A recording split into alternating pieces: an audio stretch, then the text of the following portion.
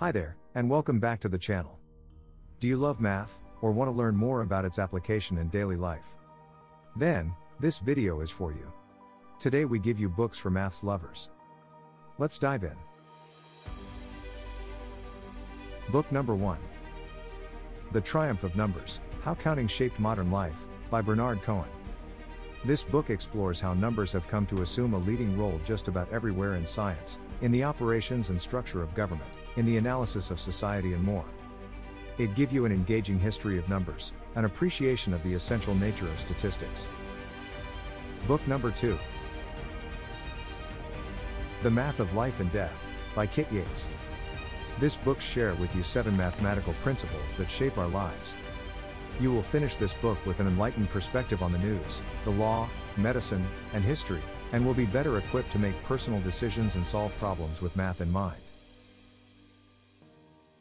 Book number 3 Zero The Biography of a Dangerous Idea, by Charles Seife. Zero lies at the heart of one of the biggest scientific controversies of all time the quest for the theory of everything. This book look at the strangest number in the universe and one of the greatest paradoxes of human thought. Zero didn't exist in the earliest days of math, it first emerged in ancient Babylonia. Book number 4 A Mind for Numbers, by Barbara Oakley.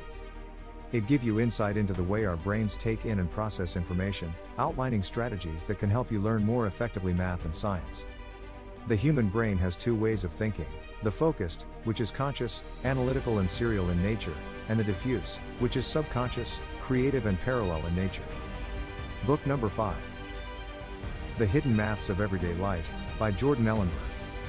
The author explained that math isn't confined to abstract incidents that never occur in real life, but rather touches everything we do.